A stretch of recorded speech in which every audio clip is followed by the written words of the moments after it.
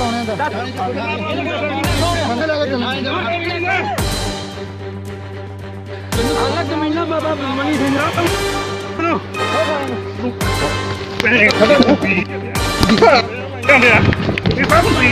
ਸਿੱਖ ਧਰਮ ਇੱਕ ਅਜਿਹਾ ਧਰਮ ਹੈ ਜਿਸ ਵਿੱਚ ਹਰ ਧਰਮ ਨੂੰ ਇੱਕ ਸਮਾਨ ਸਮਝਿਆ ਜਾਂਦਾ ਤੇ ਮਾਨਤਾ ਦਿੱਤੀ ਜਾਂਦੀ ਹੈ।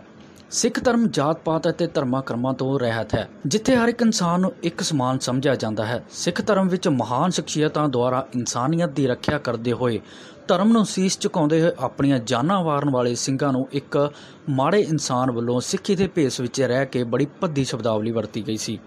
ਜਿਸ ਦਾ ਪਤਾ ਚੱਲਦਿਆਂ ਕੁਝ ਸਿੰਘਾਂ ਨੇ ਉਸ ਮਾੜੀ ਸੋਚ ਦੇ ਇਨਸਾਨ ਨੂੰ ਐਸਾ ਚੰਬਿਆ ਕਿ ਉਸ ਦੀਆਂ ਆਉਣ ਵਾਲੀਆਂ ਪੁਸ਼ਤਾਂ ਵੀ ਸਿੱਖ ਸ਼ਹੀਦਾਂ ਬਾਰੇ ਕਦੇ ਵੀ ਆਪਣੀ ਸੋਚ ਵਿੱਚ ਮਾੜਾ ਨਹੀਂ ਸੋਚ ਸਕਣਗੀਆਂ। ਵਾਹਿਗੁਰੂ ਜੀ ਕਾ ਖਾਲਸਾ, ਵਾਹਿਗੁਰੂ ਜੀ ਕੀ ਫਤਿਹ।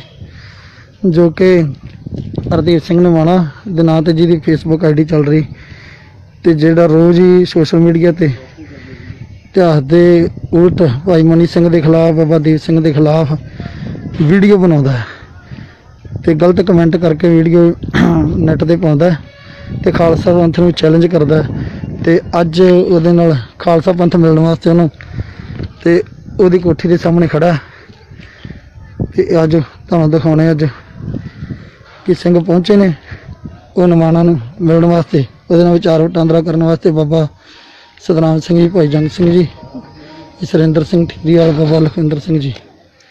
ਵਾਹਿ ਖਾਲਸਾ ਫਤਿਹ। ਹਾਂਜੀ। ਜੀ। ਮਾਰੇ ਬੜੇ ਤੁਹਾਡੇ ਚਰਚੇ ਫੇਸਬੁੱਕ ਤੇ। ਬਿਲਕੁਲ ਜੀ ਬਿਲਕੁਲ। ਤੁਸੀਂ ਸ਼ਹੀਦਾਂ ਦੇ ਖਿਲਾਫ ਬਹੁਤ ਜ਼ਿਆਦਾ ਜਿਹੜਾ ਬਦਮਾਸ਼ ਮਾਰਦੇ ਹੋ। ਬਾਬਾ ਦੀਪ ਸਿੰਘ ਜੀ ਦਾ ਥਾਣੇ ਤੋਂ ਆਹ ਰਿਪੋਰਟ ਕਰਤੀ ਆ ਹਾਂ। ਤੇ ਮੈਨੂੰ ਲੱਗਦਾ ਵੀ ਜੇ ਪੁਲਿਸ ਇਸ ਮਸਲੇ 'ਚ ਪਵੇ ਤਾਂ ਜ਼ਿਆਦਾ ਵਧੀਆ ਪੁਲਿਸ ਤਾਂ ਚਲੋ ਨਹੀਂ ਤੁਸੀਂ ਵਿਚਾਰ ਤਾਂ ਕਰੋ ਸਾਡੇ ਨਾਲ ਬਹਿ ਕੇ ਖਾਲਸਾ ਪੰਥ ਆਇਆ ਤੁਸੀਂ ਕਿਉਂ ਇਹਨੂੰ ਇਹ ਜਿਹੜਾ ਸਾਰਾ ਕਰਦੇ ਆ ਤੁਹਾਡਾ ਕਾਰਨ ਕੀ ਹੈ ਕਾਰਨ ਤੁਹਾਨੂੰ ਵੀ ਪਤਾ ਹੀ ਹੈ ਨਹੀਂ ਸਾਨੂੰ ਸ਼ਹੀਦਾਂ ਨੂੰ ਆਪਦੀ ਜਗ੍ਹਾ ਤੇ ਰੱਖੋ ਮਹਾਰਾਜ ਜੀ ਹੂੰ। ਤੁਸੀਂ ਬਾਬੇ ਦੀਪ ਸਿੰਘ ਦੀ ਫੋਟੋ ਗੁਰੂ ਗੋ ਮਹਾਰਾਜ ਦੀ ਫੋਟੋ ਨਾਲ ਲਾ ਸਕਦੇ ਜੀ? ਤੁਸੀਂ ਸਿੱਖ ਜੀ ਹੂੰ। ਤੁਸੀਂ ਸ਼ਹੀਦਾਂ ਨੂੰ ਗੁਰੂ ਮਹਾਰਾਜ ਦੇ ਬਰਾਬਰ ਬਿਠਾਇਆ ਨਹੀਂ ਫੋਟੋ ਦੀ ਤਾਂ ਗੱਲ ਹੀ ਨਹੀਂ ਕਰਦੇ ਤੁਸੀਂ। ਫੋਟੋ ਦੀ ਤਾਂ ਗੱਲ ਹੀ ਨਹੀਂ ਕਰਦੇ ਵੀਡੀਓ 'ਚ ਤੁਸੀਂ। ਘਰ ਕਿਨੇ ਦਿੱਤੇ? ਬਾਬੇ ਦੀਪ ਸਿੰਘ ਨੂੰ ਜੰਗ ਲਈ ਕਹਿੰਦੇ ਭਾਈ ਮਨੀ ਸਿੰਘ ਨੂੰ ਮਿਲਣਾ ਕਹਿੰਦੇ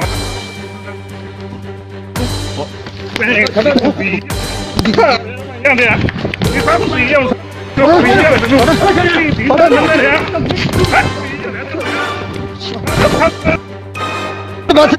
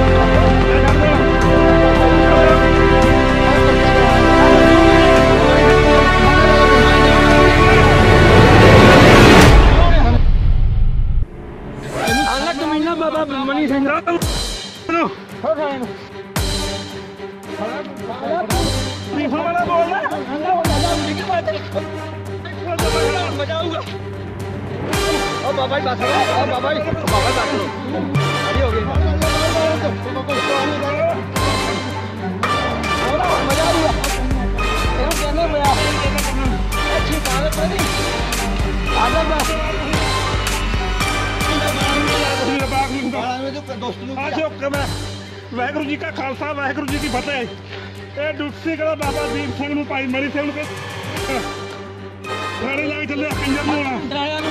ਡਰਾਇਆ ਨੂੰ ਕਿਹੜਾ ਕਰਦਾ ਸੀ ਇਹ? ਅਕਾਲ ਜੈਸਾ ਹੀ ਕਰਾ ਤੈਨੂੰ ਬਾਬਾ ਹੈ ਗਾੜੀ ਲੱਗ ਦੋ ਸਕੀਮ ਇਹਦਾ ਫੋਨ ਤੇ ਆਪਣੇ ਆ ਕੇ ਨਾ ਹੁਣ ਮਜ਼ਾ ਆਊਗਾ। ਤੈਨੂੰ ਦੇਣਾ ਮਜ਼ਾ ਤੈਨੂੰ। ਹਾਂਜੀ।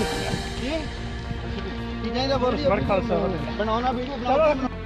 ਵੀਡੀਓ ਰਾਤਾ ਜੀ ਰਾਤਾ ਚੱਕ ਲਿਆ ਗੱਡੀ ਮੋੜ ਸਜਾ ਗੱਡੀ ਮੋੜ। ਬਾਗੜੀ ਨੂੰ ਪਾ ਗੱਡੀ ਹੋ ਵੱਡੀ ਗੱਡੀ ਬਾਦ ਵੱਡੀ। ਵੱਡੀ ਵੱਡੀ ਗੱਡੀ ਜਾ ਕੇ।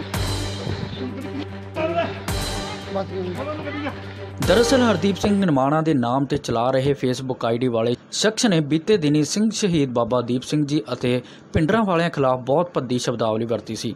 ਜਿਸ ਤੋਂ ਬਾਅਦ ਗੁੱਸੇ ਵਿੱਚ ਆਏ ਸਿੰਘਾਂ ਨੇ ਉਸ ਦੀ ਚੰਗੀ ਸੇਵਾ ਕੀਤੀ। ਹਰਦੀਪ ਸਿੰਘ ਨਿਮਾਣਾ ਵੱਲੋਂ ਸ਼ਹੀਦਾਂ ਖਿਲਾਫ ਬਹੁਤ ਹੀ ਗਲਤ ਸ਼ਬਦ ਵਰਤੇ ਗਏ ਸਨ। ਜ਼ਰਾ ਤੁਸੀਂ ਵੀ ਸੁਣੋ ਉਸ ਨੇ ਕੀ ਕੀ ਅਪਸ਼ਬਦ ਬੋਲੇ, ਜਿਸ ਕਾਰਨ ਸਿੱਖ ਵੀਰਾਂ ਨੂੰ ਇਸ ਸ਼ਖਸ ਦੀ ਸੇਵਾ ਕਰਨੀ ਪਈ।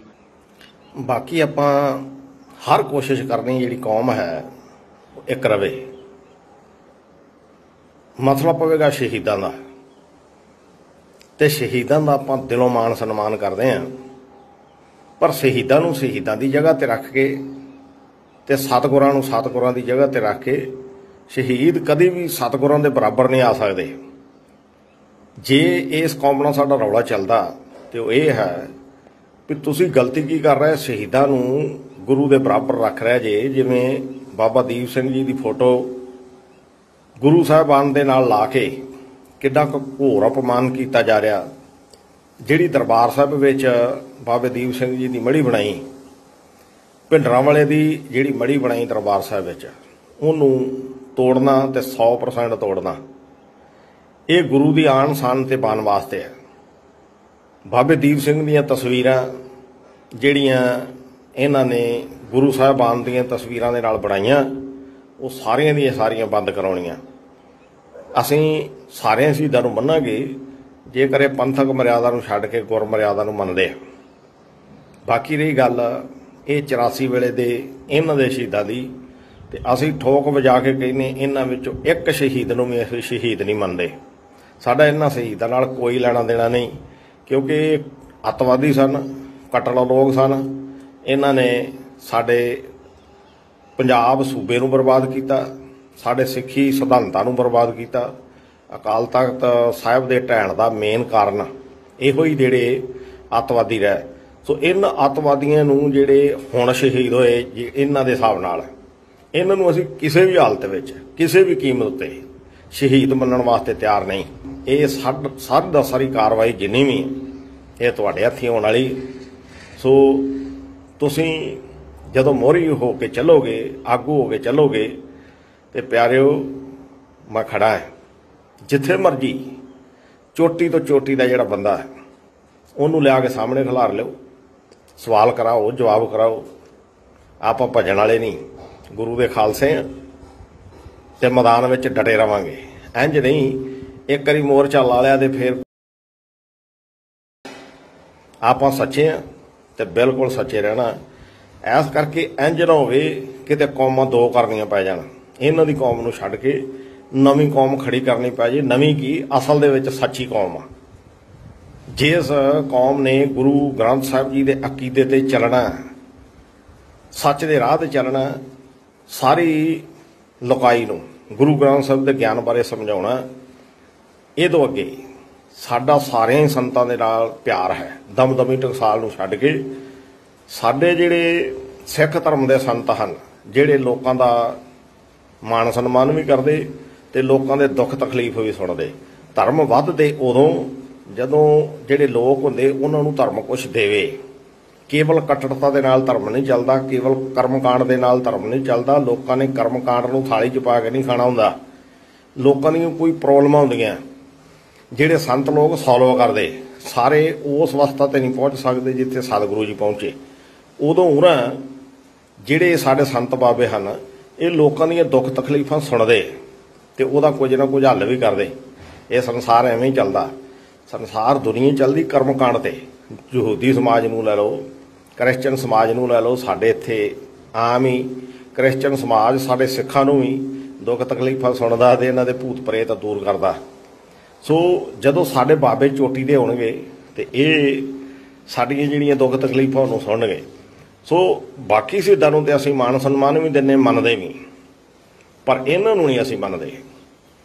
ਅਸੀਂ ਰਾਧਾ ਸਵਾਮੀ ਸਮਾਜ ਨੂੰ ਵੀ ਮਾਣ ਸਨਮਾਨ ਦੇਾਂਗੇ ਜਿਹੜੇ ਗੁਰਬਾਣੀ ਦਾ ਗਿਆਨ ਆਪਣੀਆਂ ਸਟੇਜਾਂ ਤੋਂ ਵੰਡਦੇ ਉਹਨਾਂ ਨੂੰ ਮਿਲਾਂਗੇ ਵੀ, ਉਹਨਾਂ ਦਾ ਪਿਆਰ, ਸਤਿਕਾਰ ਹਾਸਲ ਵੀ ਕਰਾਂਗੇ।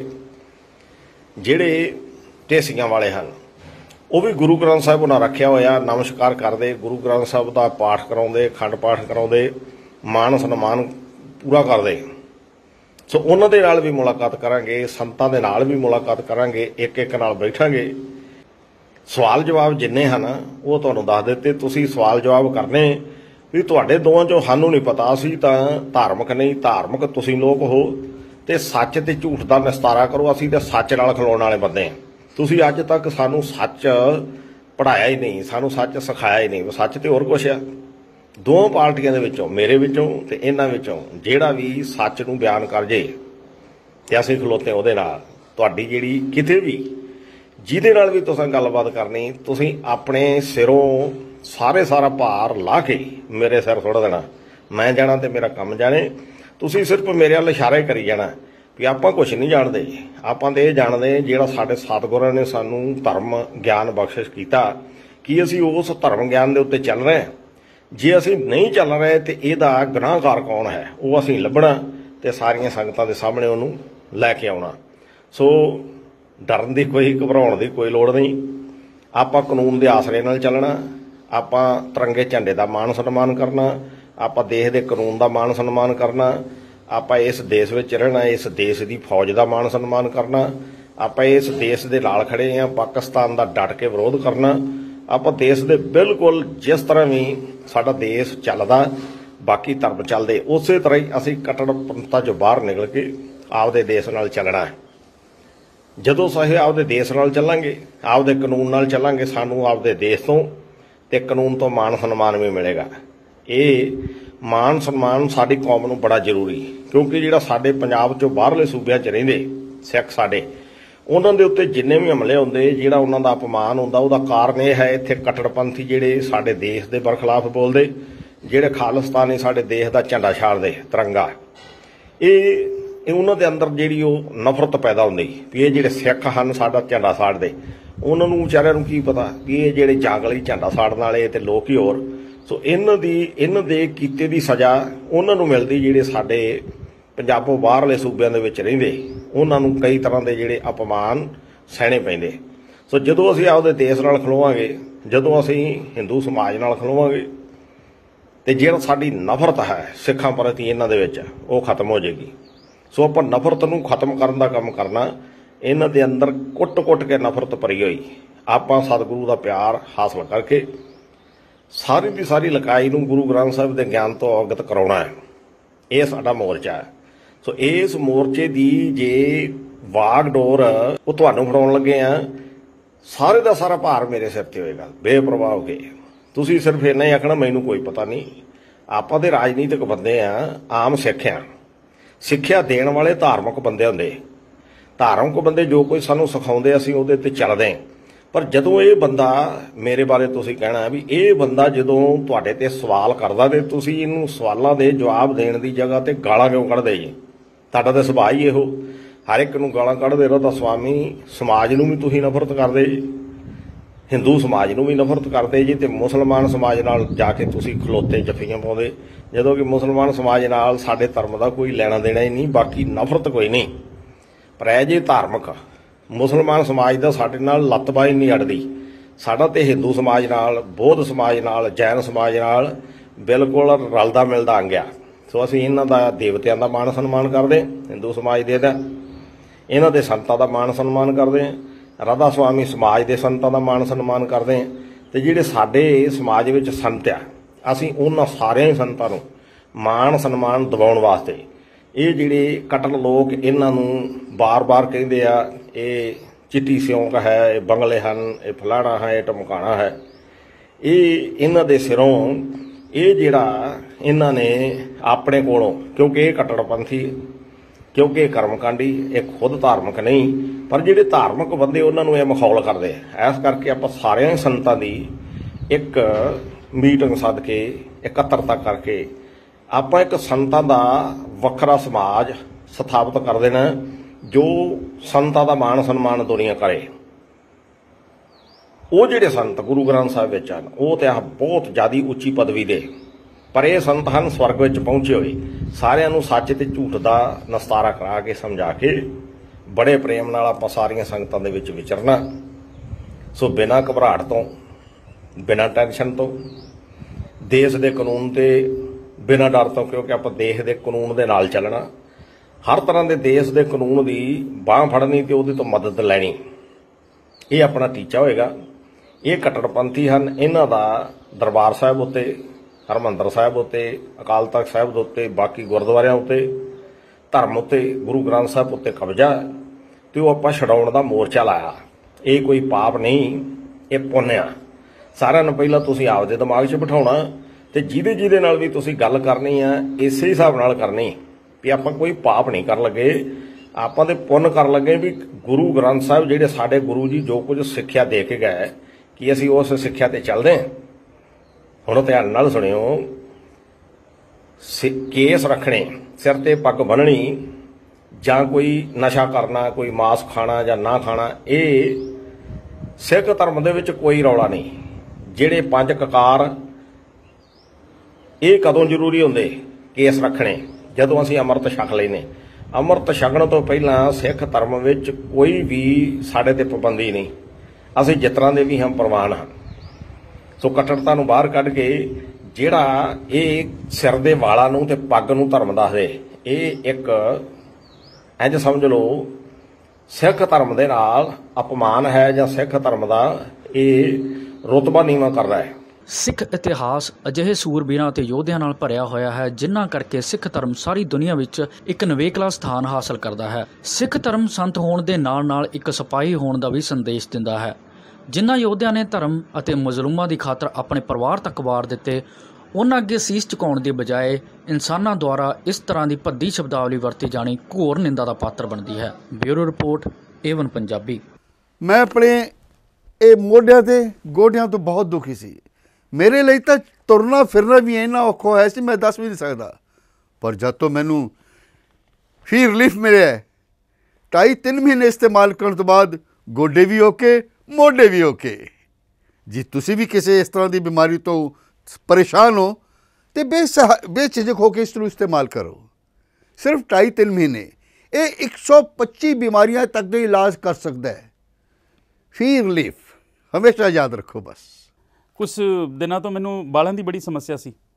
ਮੇਰੇ ਬਾਲ ਝੜਨੇ ਸ਼ੁਰੂ ਹੋ ਗਏ ਸੀ। ਮੈਨੂੰ ਮੇਰੇ ਦੋਸਤ ਨੇ ਆਇਲ ਫੀ ਰਿਲੀਫ ਵਾਲੇ ਦੱਸਿਆ। ਮੈਂ ਇਹ ਤੇਲ 3 ਕੁ ਮਹੀਨੇ ਲਾਣਾ ਆਪਣੇ ਸਿਰ ਤੇ ਅਪਲਾਈ ਕੀਤਾ। ਇਹ ਬਿਲਕੁਲ ਆਯੁਰਵੈਦਿਕ ਤੇਲ ਹੈ। ਇਹਦਾ ਕੋਈ ਸਾਈਡ ਇਫੈਕਟ ਨਹੀਂ ਹੈ। ਤੇ ਮੇਰੇ ਵਾਲ ਜਿਹੜੇ ਗੰਜਪਣ ਪੈਣਾ ਸ਼ੁਰੂ ਹੋ ਗਿਆ ਸੀ, ਉਹ ਦੁਬਾਰਾ ਆਉਣ ਲੱਗ ਗਏ। ਤੇ ਮੈਨੂੰ ਤਾਂ ਬੜਾ ਫਾਇਦਾ ਦਿੱਤਾ ਇਸ ਨੇ ਜੇ ਤੁਹਾਨੂੰ ਵੀ ਕਿਸੇ ਇਸ ਤਰ੍ਹਾਂ ਦੀ ਪ੍ਰੋਬਲਮ ਦਾ ਤੁਸੀਂ ਸਾਹਮਣਾ ਕਰ ਰਹੇ ਹੋ, ਤਾਂ ਇਹ ਤੇਲ ਲਾਣਾ ਨਾ ਭੁੱਲੋ। ਕਿਤਨਾ ਕਿਤੇ ਅਸੀਂ ਆਪਣੇ ਬਾਲਾਂ ਕਰਕੇ ਸ਼ਰਮ ਫੀਲ ਕਰਦੇ ਹਾਂ ਕਿਤੇ ਸੋਸਾਇਟੀ 'ਚ ਬੈਠੇ ਕਿ ਕੋਈ ਮਜ਼ਾਕ ਨਾ ਕਰ ਰਿਹਾ ਹੋਏ।